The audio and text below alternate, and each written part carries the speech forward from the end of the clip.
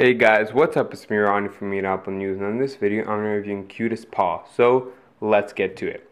So basically this app it can be described as Instagram and Facebook combined but not for people, but instead for animals.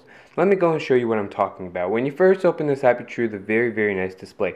Now again, it shows you all of the recent categories. So there's newest, popular, um, random, upload. You can upload your own. You can also search by category. So this is the newest. So this is basically all of the animals and pictures that people have taken of their animals and submitted. And this is obviously by the newest time. So we're going to go ahead and tap on the first image. As you can see, it will go ahead and load up you can see the caption says to scale and you can also see who it's submitted by, the amount of views that they got, 6 views because it's just been added and you can also share this photo if you really like it on Facebook and just go back to see more.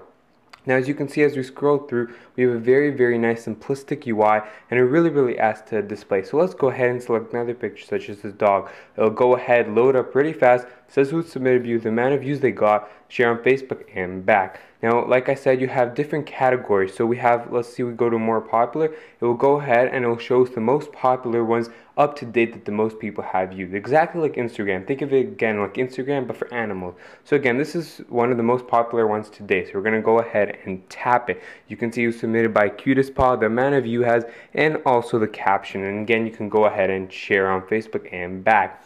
Now let me go and explain the search tab for you because that's probably Everything else really, really straightforward. And this is also very straightforward. Let me show you. You see how nicely the whole UI looks? So basically, you can just search by word or whatever you keyword, but you can also go by category. So let's say user submissions, you can go by cats, dogs, squirrels, monkeys. So I'm going to go ahead and tap on monkeys. It'll show you the amount of monkeys there is. As I said, 28. It'll go ahead and load all of the monkeys that have been uploaded. So again, let's go ahead and pick this one.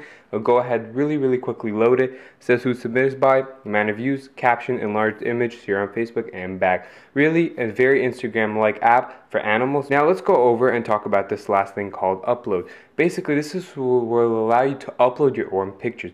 So from here, you can go ahead, log in and register a new account, and then you can upload pictures straight from your camera roll or taking from your camera, put captions in, and upload it to the website and the service. Now personally, I really did like this and I've done a couple pictures of my own and they really turned out great. And this is just random, the last one basically just show you all the random ones in random order. You don't know what it is.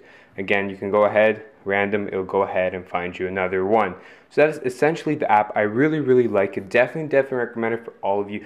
It's free and it's available for all devices, so I definitely, definitely recommend it. So it's been me, Ronnie, for Eat Apple News. That's all for this video. Hope you guys enjoyed. Definitely check out this app and I'll see you guys in the next video. Peace.